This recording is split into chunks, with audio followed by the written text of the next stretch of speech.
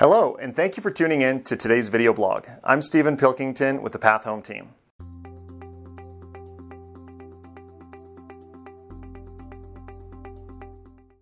So on today's video blog, we're going to discuss what are four things that you need to know that you might not know about a hyper seller's market. So to start off, many of you have been watching the news, many of you have been hearing other people's firsthand experience about selling homes in the Denver metro area. And we are very much in a seller's market. We've got very low inventory, very high demand, and properties are hitting all time new record highs regularly. Yet, what are some things that you might not be aware of that might be beneficial? So, the first one is that sellers do not need to have a plan for what they're doing next in today's market. And you might say, well, we don't want to be homeless. Absolutely not.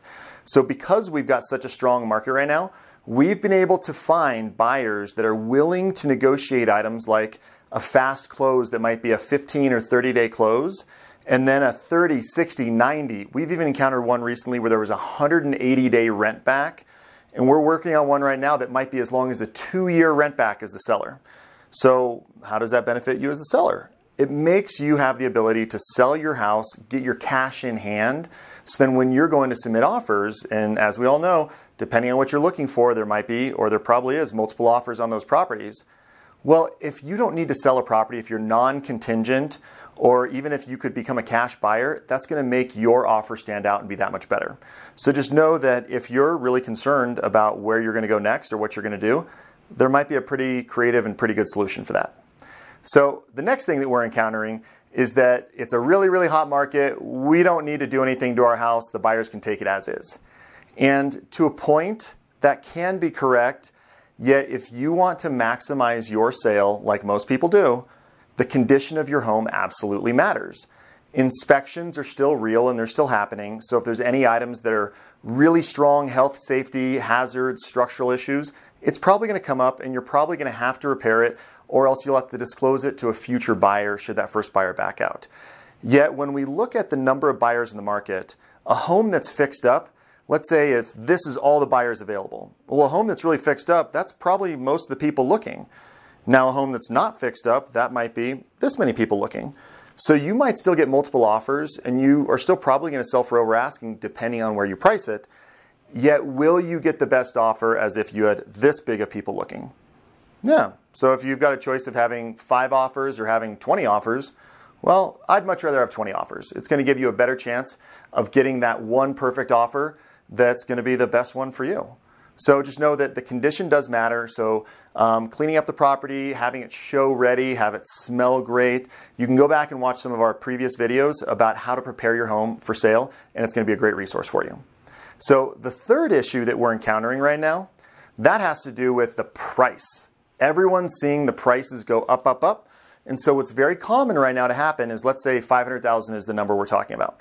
So 500,000 is that where we list the property and we did a great job marketing it. We did a great job getting lots of buyers in and it ultimately ends up selling for just over 600,000.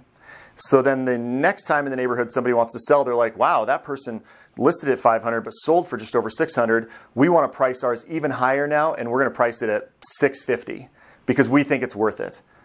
Well, what happened is there's kind of like a pyramid of what people can afford. And if you were at 500, you may have been right here, so all these folks could afford it. Well, it's 650 for your neighborhood. You might be right here. So now there's only a much smaller percentage of people that could that can afford it.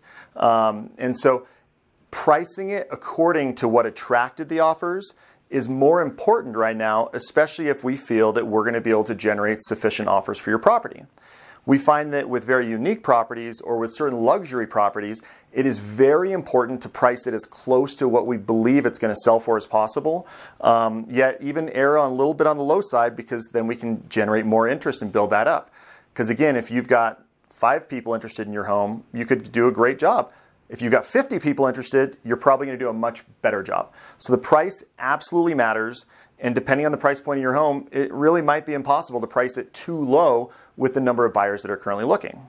So we've gone for the first three things. The fourth thing, and this is a big one that's very near and dear to my heart, is do you need a professional to sell your home at a time where we're in a hyper seller's market? Now, it might be thinking, well, maybe I can save a little bit of money. Um, well, about 96 to 98% of all transactions involve at least one realtor. So there's a very good probability that whoever brings you that buyer, let's say if you did decide to go it on your own and for sale by owner, or let's say you decided to hire an entry only company that is going to put some photos in the MLS, but they're not going to work on your behalf.